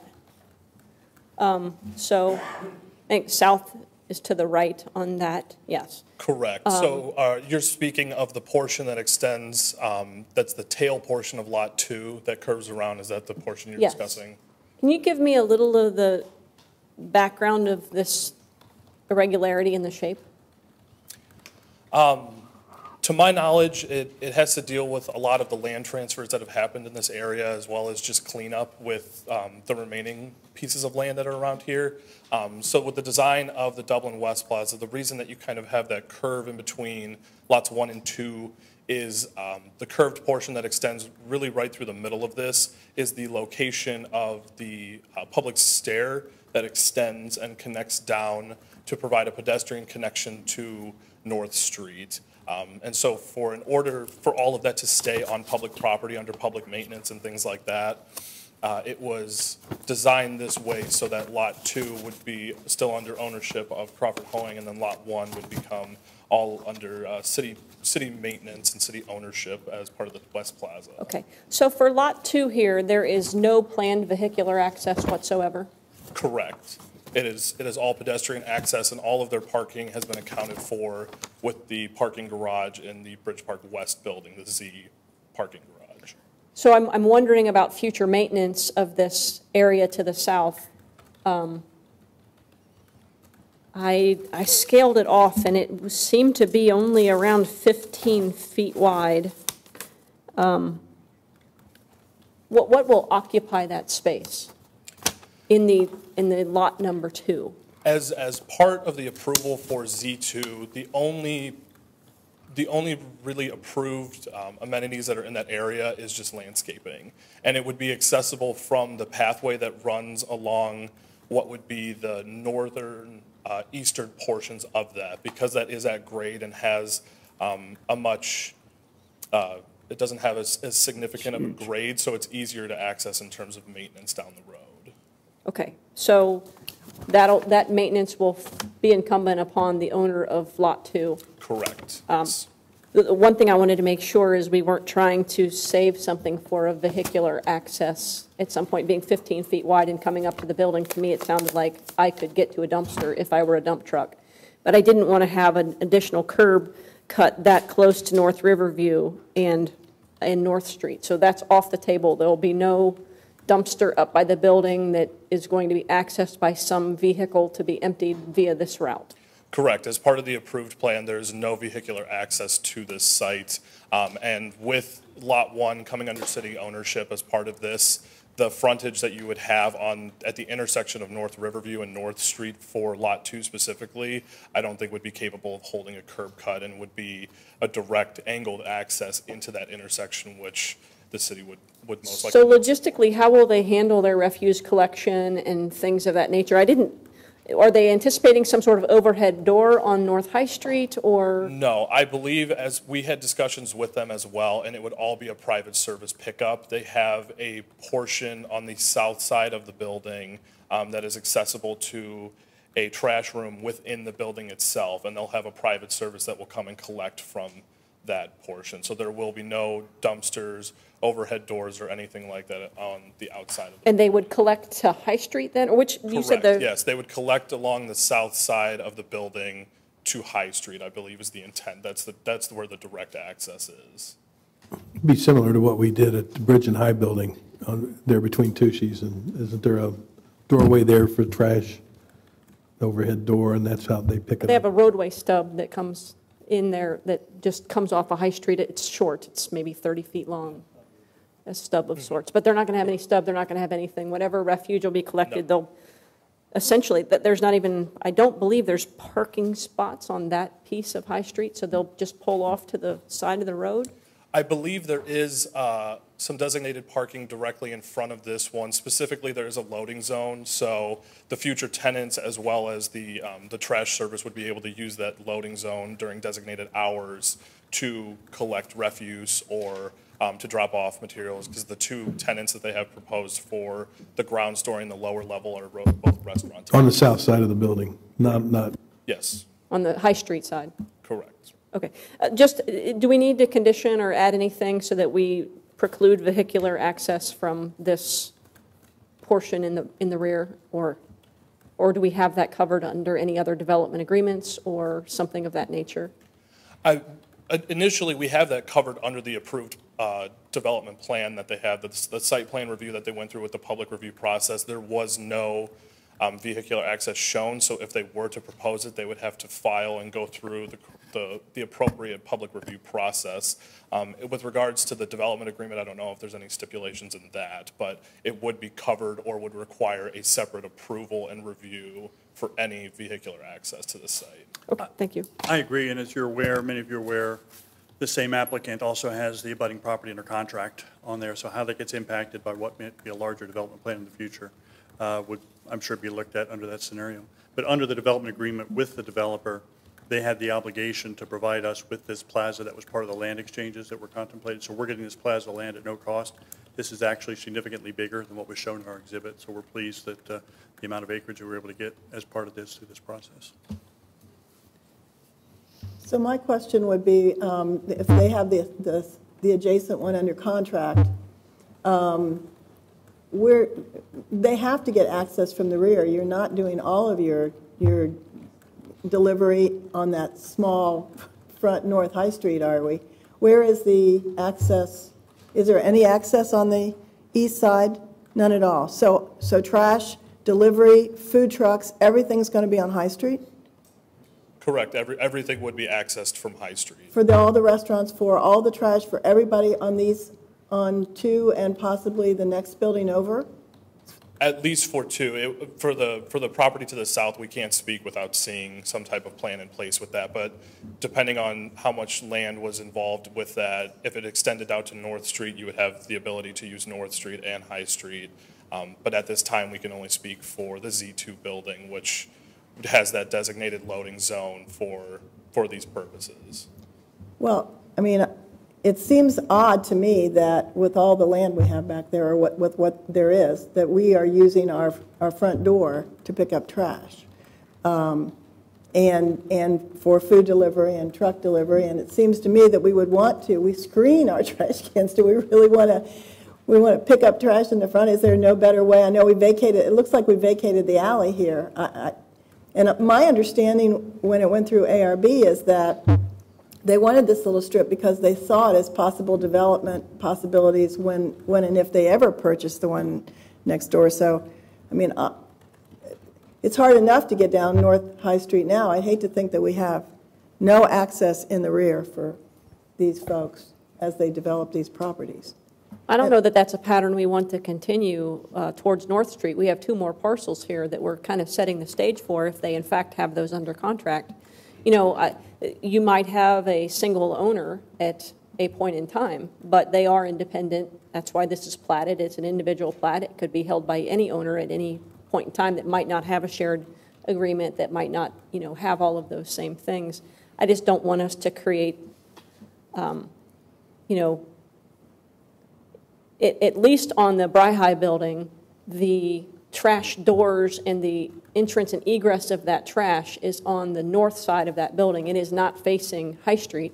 It's kind of facing the, the short stub of an alley, if you will, where there, where those trucks can pull in and be serviced. Um, I, I think that's a pretty acceptable urban way to um, handle those materials. Um, you know, if we're going to have two more like this, where we're going to be dragging the trash across our uh, paved, new paver sidewalk, um, Wouldn't that be an area be, um, that you'd get into with whatever kind of zoning get, takes place on the adjacent? well, that's why my- my question to the was, was there any, was there any conversation at the Planning and Zoning Committee? And as much as they're common owners, I think part of what we're struggling with here is we're trying to go back and, fit- I mean, this council and others approved the final development plans for these two projects on either side. And we're trying to think through exactly what provisions were made for those things. Since those projects are approved and under construction, we would do best just to bring the information back to you with regard to how they're serviced, show you what's contemplated in terms of on-street or otherwise, and if there's other issues or other things we ought to explore, particularly as it relates to the future development of that, have a discussion about that, we'd be happy to do would there be any kind of preliminary plans on the future development of the property just south that's in contract? Uh, Again, I don't, Any, any thoughts at all about how you might be able to do a similar thing that we did at BriHi? It's a larger tract and it has access on two roads, so I think there's a lot more flexibility with that one. That could also serve service Lot 2? Conceivably. I mean, I think it makes it much more serviceable. Part of their interest, I think, in acquiring this additional real estate is it makes them much more logically developable, more serviceable. It sounds like it'd make the So I think planning a lot of the next easier, development yeah. Plans, those things certainly. can For be- everybody. But let us report back to you as to how precisely these are serviced today based on the approved development plan, so you've got the, the best current information. And, I- I- you know, I've never seen a trash entrance and egress door on any building in year three that looked attractive. You know, it has a fresh coat of paint on the first year. I don't think these have those kinds of service doors on them, but again, let us, let us get the good information, and bring it back to you, so we're not speculating. Okay. So So that doesn't impact what we do with this here? No. I just have one more, Logan, is that ARB asked for four different conditions, and one of them was the, uh, and, and maybe it's occurred, and it's difficult for me to tell it, uh, the, there was, um, well, maybe it's a moot point now because they own the other partial, or they will own the other partial, but the number four about inclusion of um, the partial ending in 4079 and 0027 from the property owner, but that's been apparently, all the conditions that ARB placed on have been a Correct, Taken yes. care They- of. And they've been verified with the building permits for the Z2 building. Okay, thank you. Okay, so with the additional information coming back from staff, are there any other questions on this preliminary and final plat? I have one question. If we approve this and we find that there, we don't have sufficient, what, what do we do then? Well, we're limited in review of the plats. I mean, this is administrative, it's basically lot lines, easements. The development review, the look of the, has already been approved, and we can communicate that to you. If you have concerns, we can talk to Crawford Hoying and see if they would cooperate with us on something. Okay. When would we anticipate being able to get that information back, Terry? Like, how long would it take?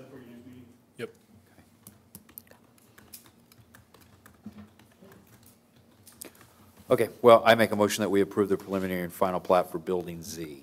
Second. Ann? Mr. Reiner? Yes. Uh, Ms. DeRosa? Yes. Ms. Fox? Yes. Mayor Peterson? Yes. Ms. Alutto? Yes. Vice Mayor Amorose Groomes? Yes. And Mr. Keenan? Yes. Okay, thank you. We'll revisit that issue in a couple of weeks. Staff comments, Dan? Nothing this evening, thank you. Council committee reports, P and Z. Jane? Fresh off her maiden voyage, six-hour maiden voyage of P and Z?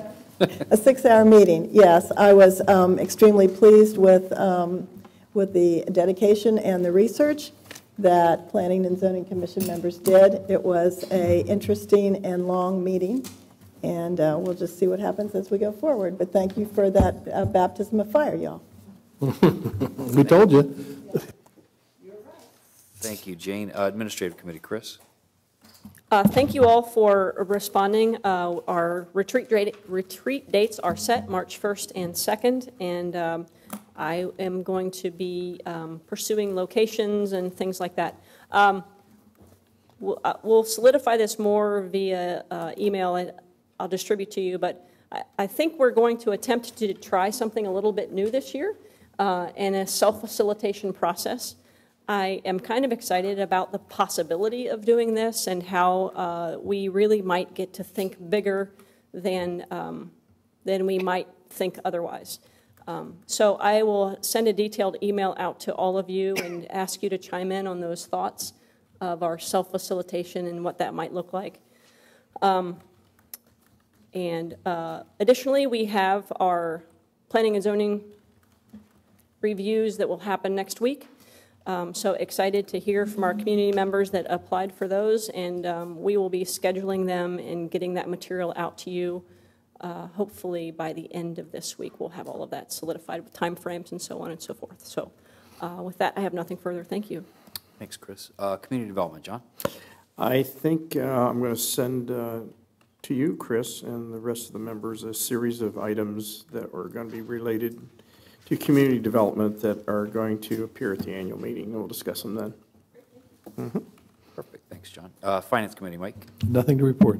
Public services committee, Christina? Um, The Public Services Committee hasn't met for a couple of years, so I'm in the process of working on gathering what previous Public Service Committee meetings uh, have been prior to that. Um, So I've gone through the meeting minutes of the previous meetings and the agenda, and I'm working on um, putting a plan together to bring to you guys to take a look at and let me know what your feedback is um, about what this committee might address. Fantastic, thank you. Staying with Christina, Dublin Friendship Association? Uh, We meet tomorrow. 7:30. How about that? See you there. Um, MORPC, Chris?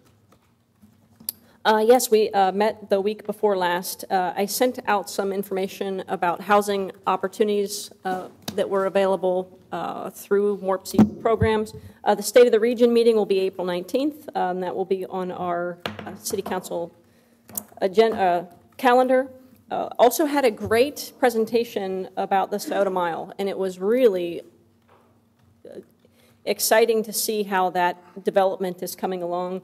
I learned a couple new things about that being a National Veterans Memorial, um, not just a state or city one, and they have received national, um, the designation for the National Veterans Memorial. So that's going to be a really exciting thing for our region, uh, and they have done an excellent job at facilitating that. Um, uh, But it was, it was a great meeting, and I'll try to bring back as much information as I can on a timely basis. Thank you. Uh, Logan Union Champaign County Regional Planning Commission, Kathy? Nothing to report. How about the US 33 Innovation Corridor Group? I think we meet next month. Okay. Dublin Arts Council, John? Let's see, uh, I think during our next meeting, I or Dave Guion will give you the quarterly report. We passed a number of years ago a resolution that uh, there'd be a quarterly meeting uh, with the s- city staff members and the Dublin Arts Council and the representative. So you can look forward to a whole bunch of new and interesting things that are going to be coming out of the Arts Council. Great, thank you, John. Uh, Board of Education, Christina? Um, So congratulations to um, Scott Melody for, he's now the president, although Lynn continues her leadership as vice president. And our next meeting is February 7th. Thank you, Christina. Uh, Washington Township, uh, Eric, Chief, fantastic work. You guys got anything to add? You know, that, the presentation earlier is an example of what we get when we work together, so fantastic efforts. Thank you. Uh, Council Roundtable, Jane? Uh, Kathy and I attended the uh, Martin Luther King dinner. It was um, really an amazing, amazing evening. Um, I know Kathy's going to speak to it too, but um, it was uh, the way they had us sit at a table of 10 with uh, a diverse person at, with a different color about a different diversity, whether it was age and gender or ethnicity or race or whatever. Um, we met some wonderful people, but I came to understand that um, that prejudices exist everywhere, and they exist in Dublin too, and we, it doesn't necessarily fall under race necessarily, as it also falls under absolutely every person has something about them that you could probably find that you don't like. but um, prejudices are, um, are learned behaviors. So we as a community, hopefully, will teach our children to view everyone equally, and that we will take every opportunity to bring empathy and understanding to everybody we come across. And so I was very proud of our, of our evening. Um, Then the other thing I wanted to bring up is that I attended the uh, Frantz uh, Metro uh, Dublin Area Plan meeting on Wednesday. We had almost 100 residents show up. A great presentation by staff. I know that there were some uh, tough moments, and I think that we just need to continue to uh, increase communication with our residents and make sure that we have really good one-on-one personal uh, discussions.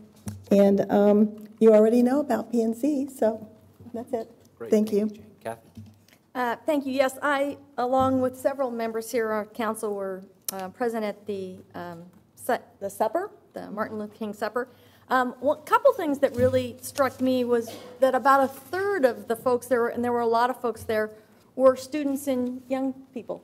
And I was incredibly impressed with how um, they not only participated, but quite often led a lot of these discussions, which aren't always easy discussions for any of us at any age, and it was very impressive. And so I want to congratulate the folks that put that together, and everybody attended. It was nice. Um, the other thing that struck me is um, just how nice it is sometimes to sit around a table and just have supper with people that you don't know. that that's kind of a lost art in all of the meetings and activities, It's kind of like a citywide block party. Um, And it struck me that those can be very powerful um, and very simple moments, and we should figure out ways to do that more often, because I thought that was terrific. So my thanks to that group. Um, As Jane mentioned, she and I um, were at the Dublin Corporate Area Plan meeting. Um, And for those that aren't necessarily familiar with that, this is one of, I think, the third in a series where the community had an opportunity to talk about and give input into what is a 25 to 50-year vision of what these areas might look like. Um, As Jane said, it was quite a robust discussion at, at times. Um, And a couple, I think, very important things came out of that, and that is because there is so much happening at Dublin, this isn't the only area plan that's under discussion, that it's incredibly important that we take the opportunity when we're doing the long-term planning to find ways to continue to have meetings like this one, to increase the input, um, to listen to the concerns and the insights in that planning, process. Because the, as the evening went on, it became um, very interesting to see how folks wanted to share their input and what we need to do as a community to take that forward. Um, Because, again, there's so much going on, I think it's also important that we continue to find ways to share information, timing of those meetings, where those meetings are going to be about, what expected to happen at those meetings, input that people can have. Um, So I applaud that, and it was, it was a very nice way to spend uh, really our first, uh, our first week as part of council, um, and just how important it is to come together as a community to do that. So I know how much hard work and planning that is, but it really pays off. The community plans only get better if we continue to find ways to, to, to do that with the community. So I thank you for that. And sort of one last observation from a new council member. Um, As you may have recalled, at the December 4th council meeting, a new um, Dublin Rec Center intera- an interactive display was unveiled uh, in the back here. Um, For those of you that missed it, it's sort of an interactive chalkboard, I guess I'd call it. Um, It is installed at the rec center and uh, over the holidays, and I can share firsthand, because I go there quite a bit, that it's been used a lot.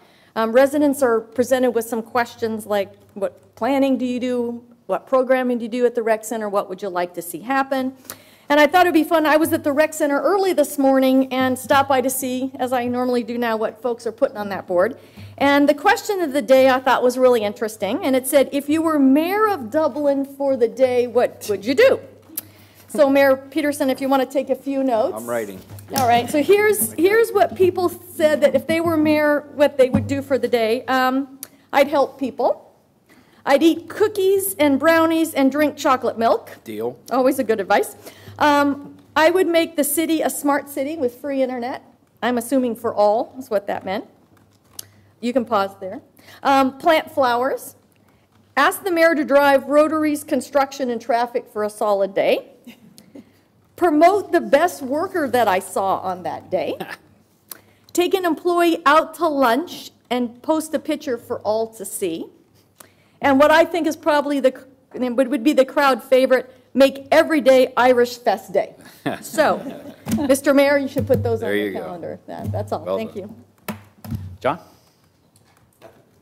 Mike? Uh, Just a couple quick, i- if I were mayor for the day, I'd stay in bed, by the way, just so you know. Um, you've been there Yeah, I was.